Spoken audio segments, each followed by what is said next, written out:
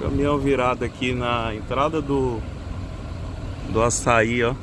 Teixeira. Acabou de virar. Vamos. Caminhão de entulho. Acho que é da prefeitura. É Acabou de virar.